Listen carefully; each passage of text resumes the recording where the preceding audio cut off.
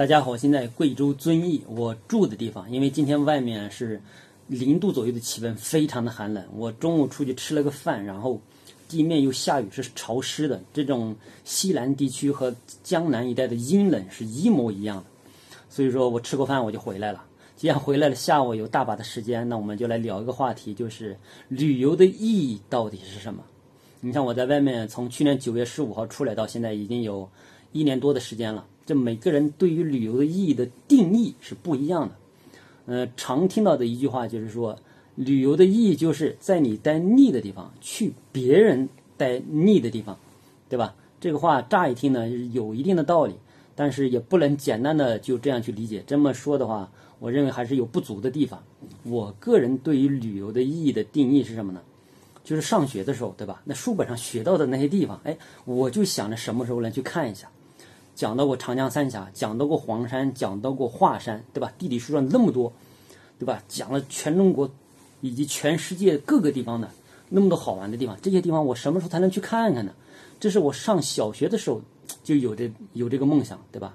当然现在终于在游览中国的路上了啊！把书本上学到的、没学到的地方，我都要去走一走、看一看。也有很多其他的博主，就是 他只游玩什么大的地方。大的五 A 级景区只游这些大的地方，对吧？呃，它小一点的地方它就不去了。我认为 小的地方我都要去啊，不管是出名的地方，不怎么出名的地方，五 A 级的景区还是没有什么 A 级的景区，我都想去看一看。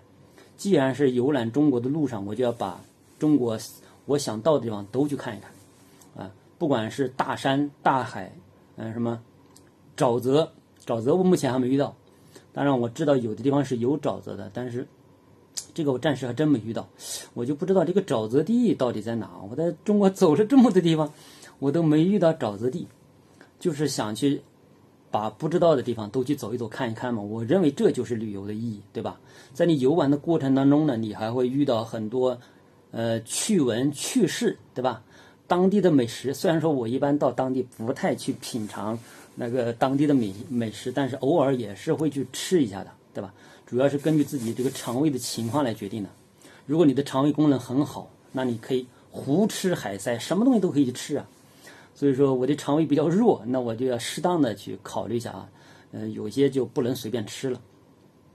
当然，你有些是你在书本上学不到的，对吧？你在游玩的路上，书本上肯定没有讲得到的，包括电视，电视上你有的没看到的，你到现场你才能看得到。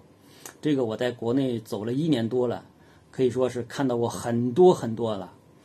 嗯，你有的时候到人家当地以后，你会感觉更加的有意义，知道吧？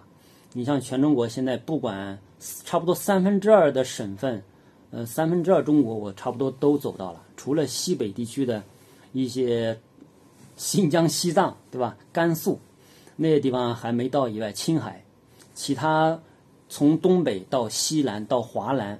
华东，这中间漏了一个省，就是江西省。当然不要紧，我这次现在不是回家过年嘛，我往华东走，肯定会路过江西省，顺便把江西省也给游了。这样就三分之二的中国，我基本上全部都走到了。那么在我走了这么多的地方呢，就是说，我也会有的时候会不断的回想一下我这个游玩的路线啊，包括走到的这些地方啊，遇到的当地的。这个风俗、这个人情啊，当地的生活习惯啊，等等等等，会遇到过很多很多，所以这就是我觉得旅游的意有意义的地方，知道吧？嗯，就比方说一开始的时候，可能你出来游玩的时候，你的心态肯定是什么？你肯定会觉得你自己老家好，或者说你所在生活的那个城市，你会觉得那个地方好。可能有一部分人他会觉得，哎呀，到别的地方会这里不想，包括我也是啊，就会犯这个问题。那么，当你时间长了，遇到的情况多了以后呢，这个心态一定要调整过来。你不要总觉得你那个地方好，你老家是什么情况，你生活的城市什么样，那是因为你太熟悉了，知道吧？你到了外地以后，首先你得去熟悉当地的这个行为习惯、这个风俗人情，你得去习惯它，你得去接受它，包括饮食上巨大的差异啊！你像我去年刚开始到云南的时候，嗯，就吃米线嘛，对，那一开始我吃不习惯。在我去云南之前，我就知道云南的米线很出名，对吧？那一开始我去云南的时候，那是真吃不习惯，因为一开始我去年刚到云南，第一站就是昆明。因为昆明说句不好听的话，它那个那边的它的米线它不是最好吃的，当然它也有好吃的，只是可能我没遇到。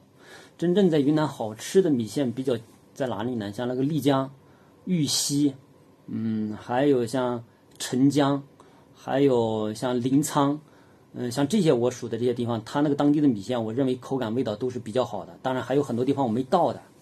我记得在云南当地，当时遇到一个叫牛干巴的那个美食，那个是我之前在电视、纪录片上、书本上从来都没学到过的。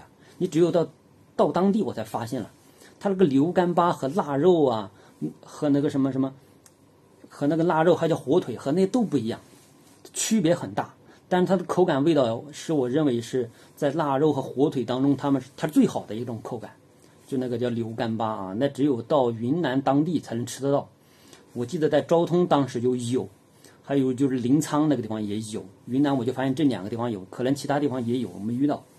就是那个牛干巴，你不管是炒饭啊，还是还是那个放在粉丝里面啊，哎呀，那个口感味道特别好。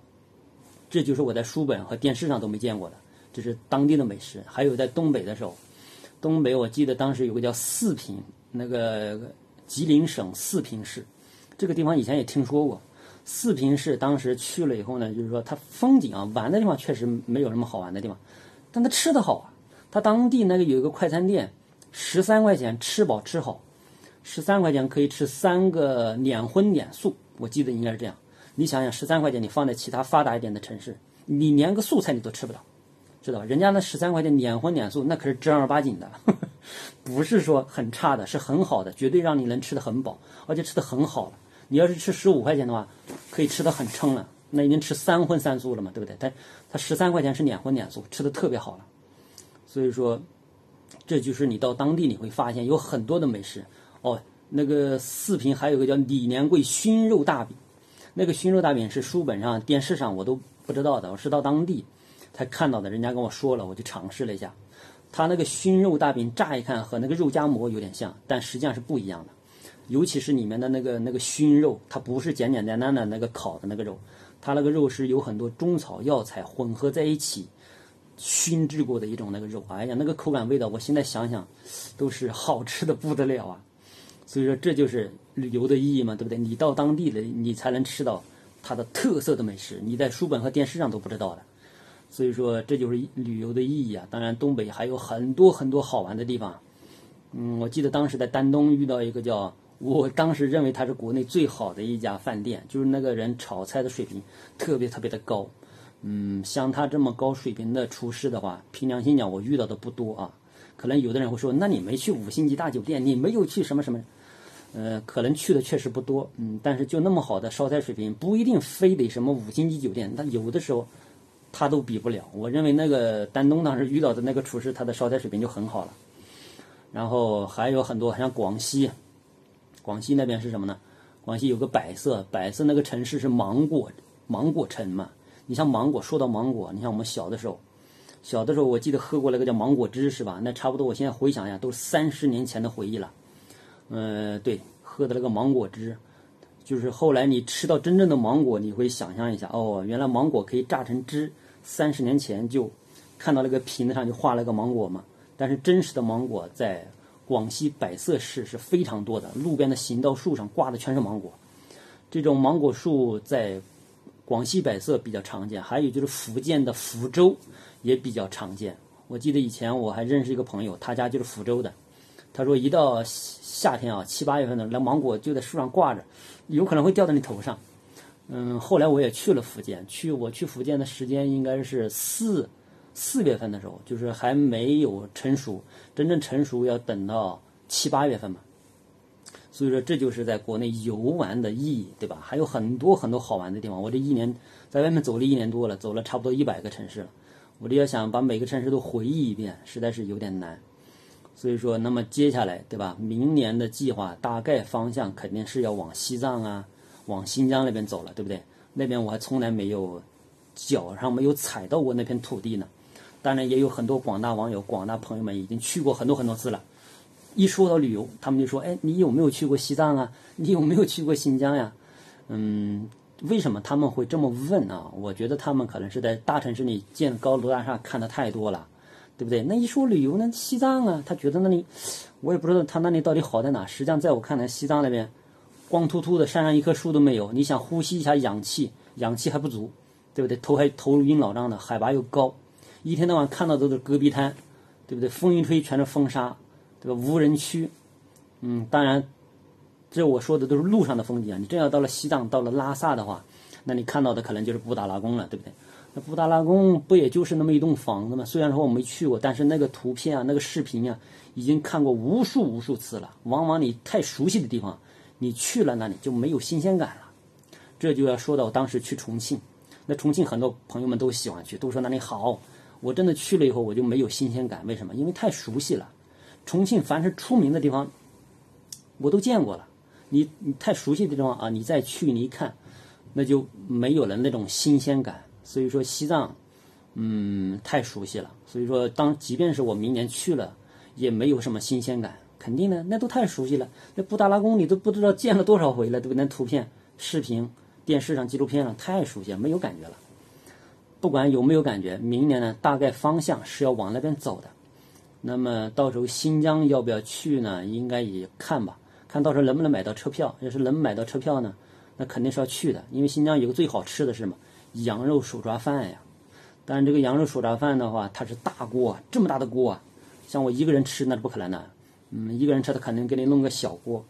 那个羊肉手抓饭是新疆菜当中非常好吃的一道菜，它是锅里煮着饭，然后把那个羊肉，呃，做羊肉切成大块的，就羊排，直接放在饭上蒸，然后应该羊肉应该也是调过味的，就是直接蒸，蒸饭蒸好的同时，羊肉也蒸好了。这就是羊肉手抓饭，这个到时候要不要去尝试一下这个新疆最牛的大餐？那到时候就看一下啊，反正就是新疆还没去，对吧？有意义的地方还有很多，还有甘肃啊，甘肃那个省是跨度比较大的，它那个省像个玉如意的造型，所以说明年啊就大概往那个方向走吧。旅游的意义，第一个是要把书本上学到过的地方都要去看一下，然后你会发现还有很多是书本和电视上你都没有见过的。这也是意义，对吧？当地的美食、当地的语言、文化、人物的这个交流，你到当地，你肯定也会跟当地人沟通。基本上普通话在国内现在推广的差不多。当然，即便是这样，也有极个别的地方，他普通话很差，人家当地人基本上不讲普通话，你讲普通话他也听不懂。就是这种情况我都遇到过。这那具体我在这里不能点名是哪里了，就是肯定你会遇得到。就是你跟他讲话吧，声音小了，他他听不懂。你必须要跟他讲很大的声音，他才能听得懂。所以说呢，就是他可能不怎么讲普通话，这是有一定的关系的。反正旅游的意义就是在，呃，我今天分析的大概只是这么一小部分哈，当然每个人的见解是不一样。行，反正这个视频就先拍到这里了，感谢收看，下期见。